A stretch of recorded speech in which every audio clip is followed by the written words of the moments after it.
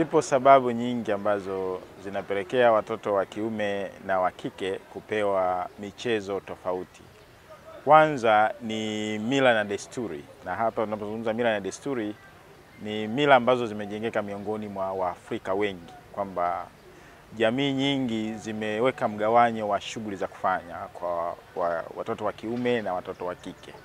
Kwa hiyo ni kutokana na huo mgawanyo ndio ambao umepelekea hata michezo, kwa maana imeathiri mpaka hata shughuli mbalimbali, na hasa michezo ambayo watoto wanakuwa wanafanya.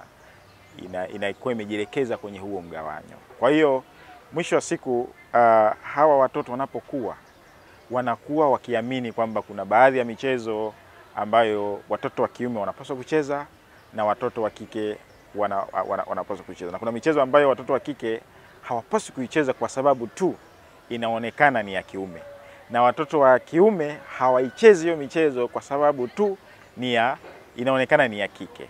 Kwa hiyo mtoto anakuwa kwenye makuzi ya namna hiyo, na hii imekuwa na athari kubwa sana hasa kwenye uh, ustawi wa jamii. Unajua, mtoto anapokuwa ndipo anapojifunza, na hakuna fursa kubwa ya kujifunza binadamu kama anapoanza kujifunza huko angali mtoto.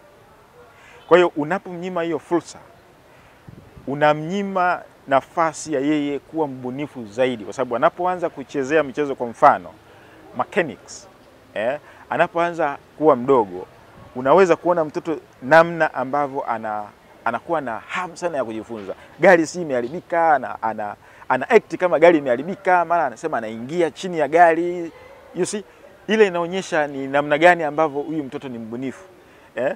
Wakati mwingine unaona mtoto anaendesha gari, geti limefungwa, geti limefunguliwa, si hapa kuna trafiki. Anazungumza hayo maneno, maana yake anaanza kujifunza akiwa mdogo. Maana yake akiwa mkubwa, atakapokuwa akikuwa na uwezo wa kuendesha ile gari, atakuwa ni mtaalamu mzuri, atajenga ule utaalamu kwenye fani yake.